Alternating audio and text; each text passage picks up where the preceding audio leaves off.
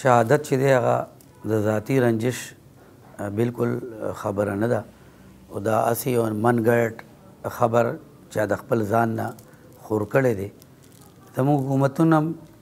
تحقیق نه کوي پولیس ډپارټمنټ او دا او به تو کوم خبره وږي مولا صاحب یو پرامن یو مخلص انسان دوست محب وطن او د پښتنو محب او د دې خاورې خطې د ټول بیلټ د امن قايمونکي علمبردار و، نو هغه ذاتي دښمني په وړو وړو دنياوي خبرو باندې څنګه چا سره کېدای شي، يا خپل خاندان کې، يا پارټۍ کې، يا نور څه سټاف کې، نو دا يوه غلطه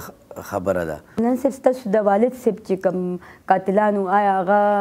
کیس کې څومره پرمختګ شوی دی او چې سیاسي یا حکومتي کوم چارواکي دي هغوی په دې حوالې سره کوم کار کوي تاسو په هغې مطمئن یئ؟ هغه سړی چی هغه د پیس دپاره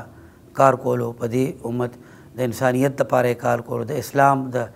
دینی تعلیمات یې خورول د یو لوی این جی او دارلوم حقانی این جی او زه ورته وایم د هغې فاونډر او بانی او مهتمم او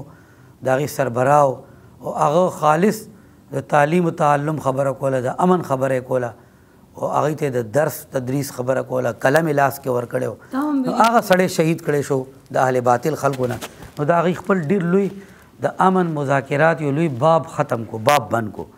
کوم خلکو افغان حکومت سفیرانو دا ټول به مولانا صاحب ته ناست وو چې یاره طالبانو سره خبره وکړه طالبان هم وي چې مولانا صاحب زموږ مشر دی چی دی څنګه وایی مولا صاحب همیشه هغوی ته حکم کړی وو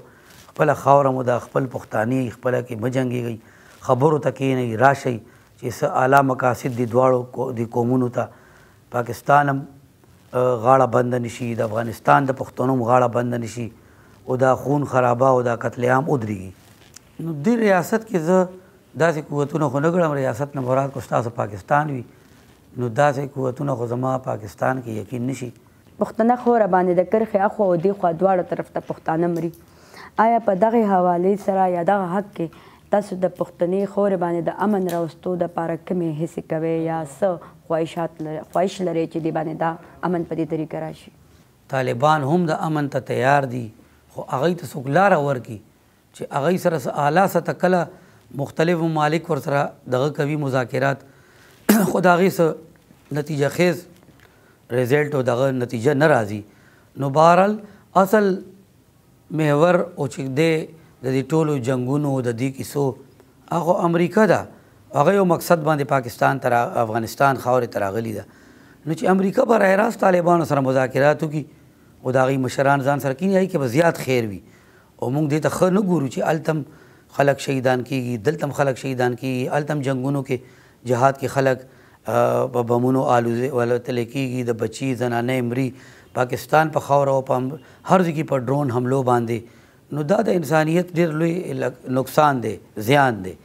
نو موږ دې ته په دغه نظر ګورو چې د دې ټولو خبرو حل مذاکرات دي، خو ما تاسو ته وویل مذاکراتو زما والد صاحب مولانا سمیع الحق شهید کار کولو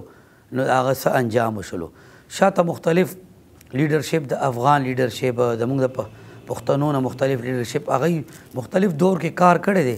په امن باندې او په خبره باندې ټیبل ټاک باندې او پیس پروسس باندې هغه ټول وخت ناول شهیدان کړی شي